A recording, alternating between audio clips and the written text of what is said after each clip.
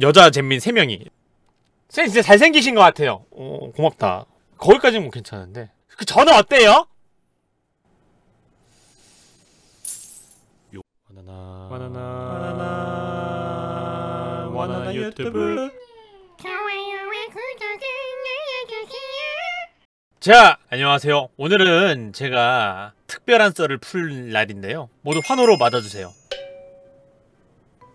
좋아요. 썰을 풀 때 주의점을 하나 알려드릴게요. 저는 제 채팅방이 마치 어, 처음 들어온 사람이 와 와나나 몇천 명 보고 있는 거 아니야? 라는 착각이 들 수 있을 만큼 활발한 채팅창을 어, 썰을 풀 때 필요를 요하고 있으니 정말 큰 리액션 채팅으로 부탁드릴게요. 좋아요. 저의 직업이 뭡니까 여러분?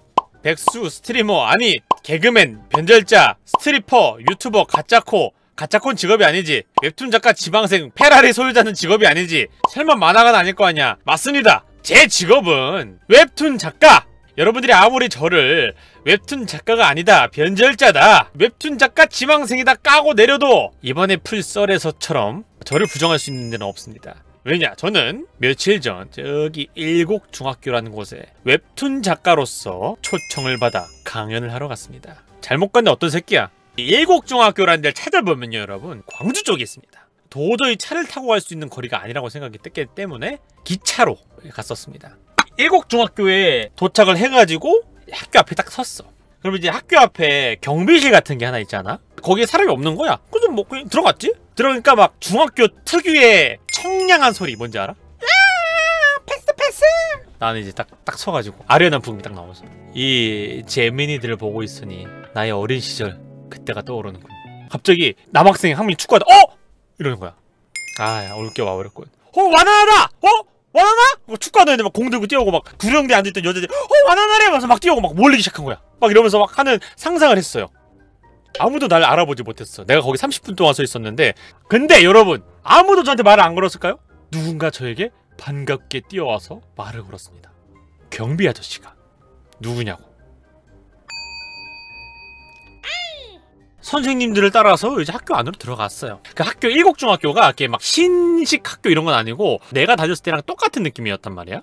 와 진짜 뭔가 추억 돋는다. 막 강연이 이제 도서관 같은 데서 했단 말이야 학교에. 딱 들어갔어. 운동장에서는 나를 몰랐지만은 여긴 이제 애들이 오고 싶은 애들이 웹툰 작가가 꿈이고 나를 아는 애들이 왔을 거 아니야. 근데 이제 미리 와 있는 학생이 한 명 있었어. 지금 이 친구는 일찍 와서 자기한테 어떤 롤모델일 거잖아, 내가. 그래서 나를 만나가지고 여기서 어떤 대화를 주고받아서 거기서 영감을 받아서 얘가 진짜 훌륭한 웹툰 작가가 될 수도 있는 거고 되게 소중한 시간이라는 생각이 딱 드는 거야. 이 친구에게 그래도 최소한 좋은 동기를 심어주고 싶다는 생각이 딱 들어가지고 언제부터 어, 나를 알았어? 이렇게 물어봤어. 그랬더니 이제 그 친구가 누구신데요? 그러는 거야.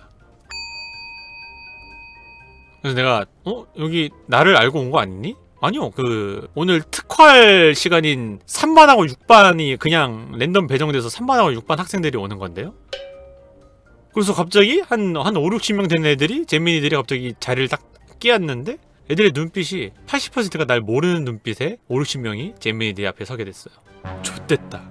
이 에너지 잼민이들한테 내가 조금이라도 노잼이 되거나 좀 얕보이는 순간 애들이 막 소리 지르면서 막 뛰어나가지고 내 뺨을 갈길지도 모른다.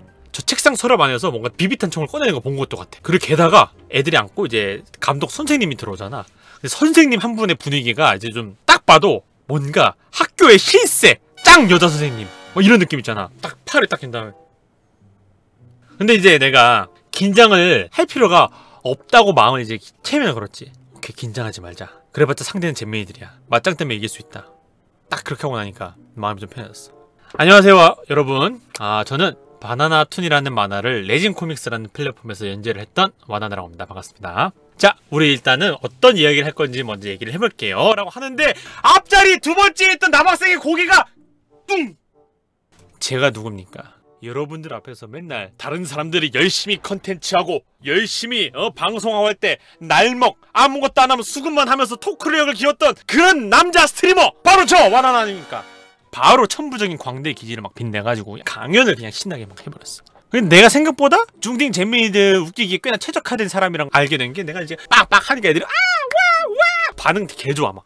티키타가 미친 듯이 되니까 막 나도 즐거워. 진짜 분위기 좋았어. 했는데 내가 너무 신난 나머지 좆됐어 강연이 1시간 강연, 10분 쉬는 시간, 근데 30분인가 40분 또 강연 이렇게 되어 있는 스케줄이었는데 너무 신나게 해서 1부에 프레젠테이션 준비한 거 다 해버렸어. 그때 한 번 더 눈이 맞췄어요. 뒤에 계신 교육부장 같은 선생님. 이때 해야 되는 거는 하나밖에 없었어. 진짜 인생의 도박. 중딩 잼메이들을 상대로 이걸 하는 건 진짜 위험한 거거든요. 2부는 Q&A로 진행하겠습니다. 중딩 Q&A가 얼마나 위험한지 아세요? 제가 옛날에 중딩 잼민이들 대상으로 강연을 한번 한 적이 있어요. 멀쩡하게 강연하다 이제 Q&A 시간 때 한 명이 정적을 깨고 웹툰 작가는 일찍 죽나요? 옆에 있던 애가 웹툰 작가 똥 싸요? 요즘 애들이 어른스럽다라는 건 다 거짓말이야. 근데 방법이 없잖아. 질문 있나요? 그래 똥 싸냐고 물어봐라. 잘 싼다고 대답해줄게. 내 방향에서 한시 방향에 안경을 쓴 학생이 손을 듭니다. 반장이래. 저 선생님 그렇다면 두둔 두둔 두둔 두둔 두둔 두둔 두둔 두둔 웹툰 작가가 되기 위해서 준비를 해야 되는 건 뭐가 있나요? 어, 이제 설명해줬지만 반장이라고 또 이- 알찬 질문들을 막 하는 거야. 근데 이제 그 40분을 반장 혼자 Q&A 할 수 있냐? 없어. 반장도 이제 질문이 딱 떨어졌어. 첫 발 운이 좋았던 거야. 그럼 다음은 뭐야? 그때 저쪽에서 또 누가 탁 손들어. 이번에도 나름 좋은 질문 할수 있는 친구인가 보다. 그래 질문이 뭐니? 돈 많이 벌어요? 와! 좆됐다! 아, 뭐, 적지 않게 벌죠. 이런 질문 빠르게 대답해줘. 어디 다음 치고. 그럼 차 못 타요? 와! 페라리 탄다. 그런데 페라리를 탄다고 하는 순간 애들이 먼저, 그럼 타고 왔어요? 타고 왔어요? 아, 오늘 기차 타고 왔는데. 그때 애들 눈빛이. 아씨, 아씨. 뭐죠? 마지막 질문 받아야 되는데. 마지막 질문이라도 몇 개 받아야 돼. 한 10개 가량 받아야 돼. 그래! 재민군. 질문이 뭐니? 김재원이랑 친해요? 어, 친해요. 와! 애들이 막 박수 막 김지원 하니까. 어, 원정상! 원정상도 친해요? 친해요. 와! 인지도 털리내고 있었지만 그래도 상관없어. 뭐 그들은 그들 나름대로 자신의 영역에서 열심히 하던 친구들이니까. 근데 단 하나의 질문이 저를 망가뜨렸어요. 그래 친구. 어, 왜 또 누구나 친하냐 물어보게? 김은별이랑 친해요? 네, 내가 약간 헷갈렸어. 나 놀리는 건가? 친하지? 걔 내가 방송 데뷔시켰잖아. 진짜? 뭐? 진짜? 그때 애들이 진짜 상처받는 리액션이었어. 뭔지 알아? 와! 그래서 그 이후에도 여자친구 있어요. 이상형이 있어요. 마지막 연애 언제예요? 첫 키스는 언제 했어요? 막 대답을 해줬어. 순간적으로 아뿔싸 하고 나서 그 교육 지도 선생님하고 눈을 딱 마주쳤어. 근데 그 교육 부장 선생님이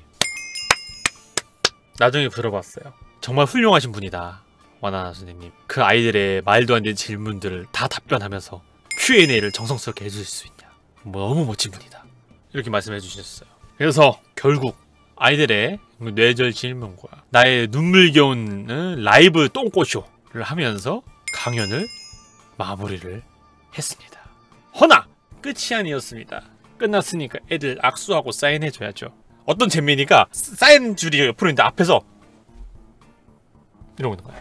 여자 잼민 3명이 쌤 진짜 잘생기신 것 같아요. 어, 고맙다. 거기까지는 뭐 괜찮은데 그 저는 어때요? 요,